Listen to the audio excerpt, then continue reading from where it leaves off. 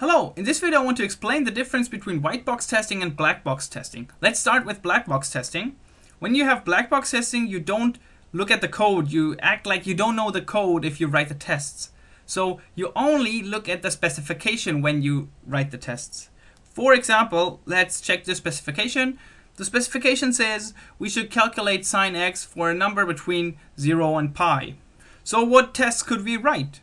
We could write a test for sine 0 and check if it's 0.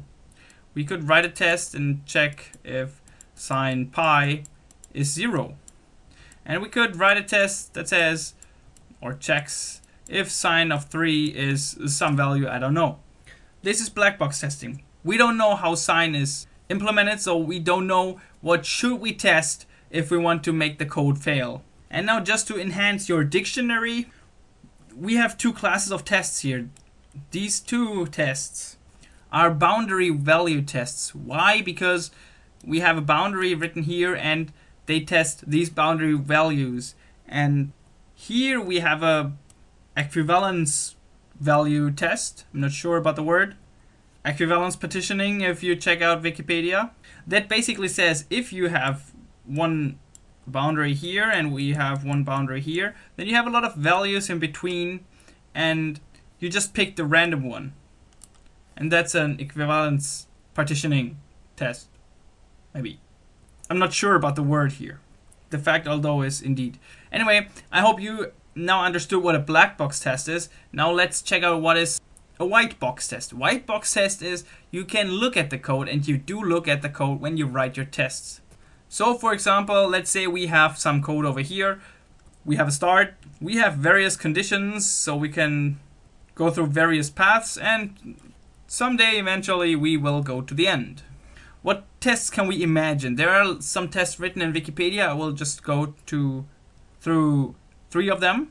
Let's start with the statement cover coverage. Statement coverage, sorry. This coverage says that you should at least go through every statement once. So, one test could be like this. But we didn't we didn't cover the D and G statements, so we do another test and we go this way this time.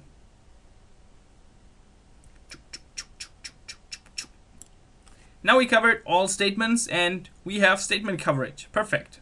We also can have branch coverage. That means for all conditions you should go to either side, so to the true side and to the false side at least once. This is pretty similar to what we did before.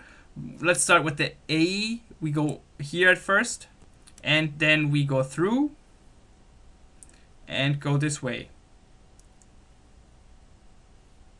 So the branch B and E are both going to the left side. We did not go to the right side yet.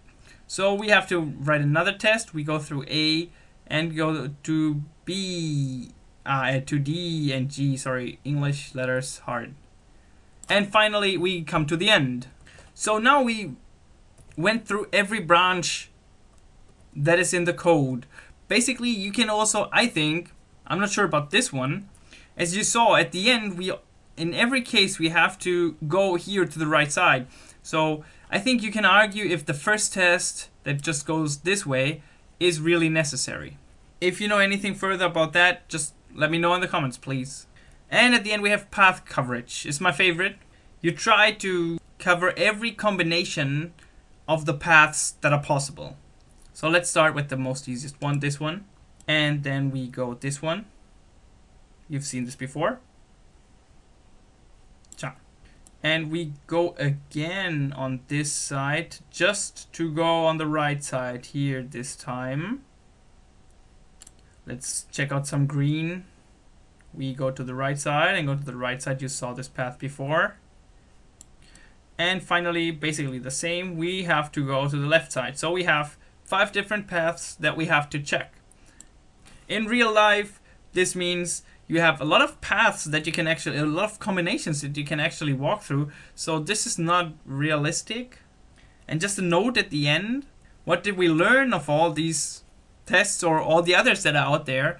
They do not help us make a perfect software because even if we have statement coverage, branch coverage, and path coverage, we can still hit bugs. Why? Simple example. I will leave the thinking up to you though. Imagine we have this program over here. We have some branches. Let's say this is the yes part and this is the no part. And we want to make path coverage by setting A to either minus 1 or 1 and C to minus 1 or 1. When we do that, we have four tests and we have the full coverage, the full path coverage. But then we didn't enter the bug that happens when A is bigger than 0 and C is minus 5. And we also didn't catch the bug that happens when A is smaller than 0 and C is 2. If you don't get it, just think of it for a while. And you will find out that even if we use the path coverage, the branch coverage, and the statement coverage, we have to be really lucky to find the bug that happens either here or here. But besides that, I hope you understood what white box testing is about. So you really look at the code. And let's just skip or switch over to Wikipedia and you can do like a lot of more stuff. Just check out the white box testing Wikipedia page and you find a lot of coverage stuff. But but I will not talk about it here. So thanks for watching. If you have any comments, if you have any questions, write the write in comments below and make sure to read the video description.